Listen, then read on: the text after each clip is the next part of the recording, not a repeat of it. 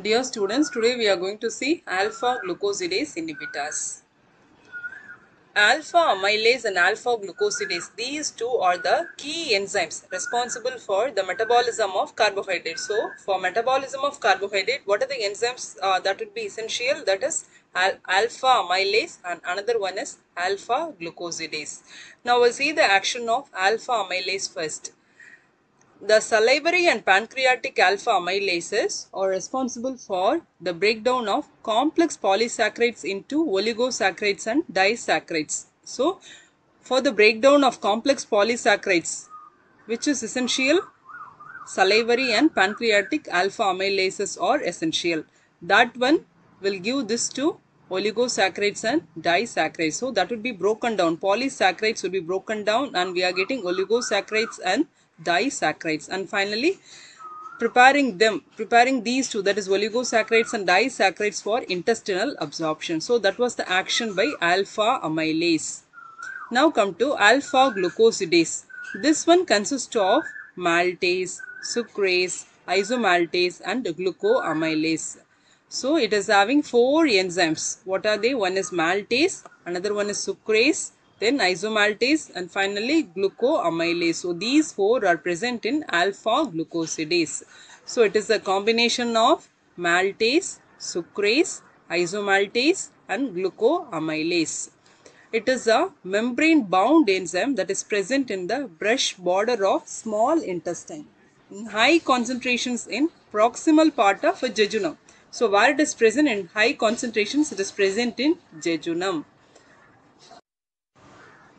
So this alpha glucosidase enzyme catalyzes the conversion of disaccharides that is uh, sucrose and maltose into monosaccharide that is called glucose. So it converts the disaccharides into monosaccharides that is converting sucrose and maltose into glucose. That glucose is finally absorbed by the enterocytes of the jejunum and they enter into the systemic circulation. So that was the action by alpha glucosidase. Now we'll see the action of alpha glucosidase inhibitors. They inhibit the enzyme called alpha glucosidase. So by inhibiting that enzyme, what happens? The carbohydrate absorption in the gut, no, that would be delayed. How it is delayed? By moving these undigested disaccharides into the distal sections of small intestine and colon and prevents the glucose production and finally reducing the postprandial hyperglycemia. Some natural products are also having this alpha glucosidase inhibition property. So they are maitake and Salacia oblonga. So this is a mushroom and this would be the plant. So these two are having that property. Alpha glucosidase inhibitors are used in the treatment of type 2 diabetes mellitus, particularly with regard to postprandial hyperglycemia. The examples are acarbose, miglitol and voglibose. They are not having systemic effect and they exchanged through the kidneys in unchanged form. It would be given as monotherapy or in combination with other anti-diabetic agents. Now we'll see the first drug that is called acarbose. It was the first introduced alpha glucosidase inhibitor and is an oligosaccharide that is obtained from Actinomycetes utahensis. It is having two parts. One is uh, this NO that can be called as maltosane and this NO that can be called as acarviosine. So what are the two parts present here? One is called maltose, another one is called acarviosine. So it has a tetrasaccharide like structure with an acarviosine and maltose and these two are connected by means of ether linkage and also by means of alpha configuration. So here already we have known what is meant by maltose that is a disaccharide. So it is having two monosaccharide units. So these two are 2 glucose. Now come to acarviosine. So what is the structure of the third ring? Third ring is similar to the second one, same as that of glucose. But here in glucose we have hydroxymethyl in this position. Whereas here it is methyl. And here in this position the glucose should have o, OH no so it should have um, what is the linkage ether linkage or glycosylic linkage between these two but this one is having amino group Mm, what about the last ring that is same as that of glucose but that one is having extra bond double bond is present there but it is not having oxygen in the structure it is not a saccharide So totally these two, know how these two are fused by means of amino linkage. So these two can be called as acarviosin and these two can be called as maltose. How these two are connected by means of ether linkage with alpha configuration. It is a competitive inhibitor for sucrase and a lesser affinity for glucoamylase and pancreatic alpha amylase in humans. Next drug is called voglibose. What is the structure for voglibose? It is having cyclohexane nucleus and that one is having 4 hydroxy groups in first, second, third, fourth and the first position is also having hydroxy methyl. Come to four, fifth position, that one is having amine group and that amine is connected with 3 carbons. So this is called propane and that one is having 2 hydroxy. So that's why it is called dihydroxy propane.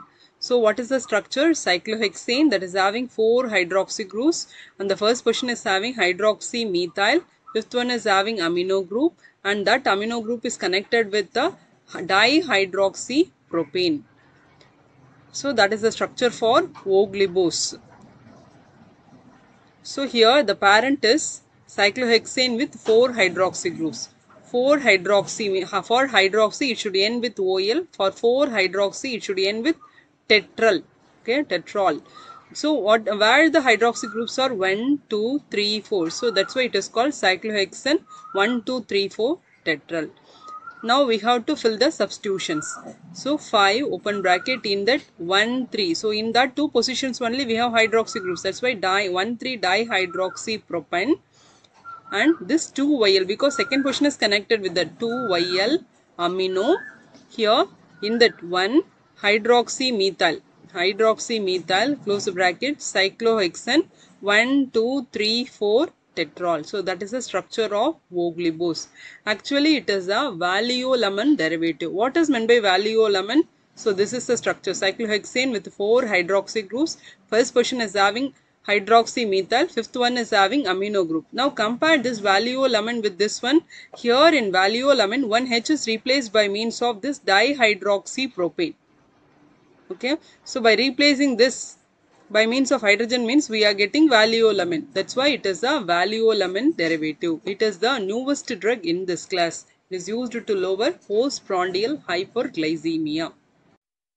Now we'll see the SAR of alpha glucosidase inhibitors. So this alpha glucosidase inhibitors are having so many hydroxy groups so polyhydroxy groups are present here. So this polyhydroxy groups are essential for alpha glucosidase inhibition because they mimic the natural substrates maltose and sucrose. That's why this polyhydroxy groups are essential for inhibiting the alpha glucosidase enzyme. Here it is having secondary amino group no that prevents the protonation of essential carboxylic acids with glycosidic oxygen bond of the substrate. So this uh, secondary amine that is also important. So what are all important for alpha glucosidase inhibition? The presence of polyhydroxy groups and this secondary amino group.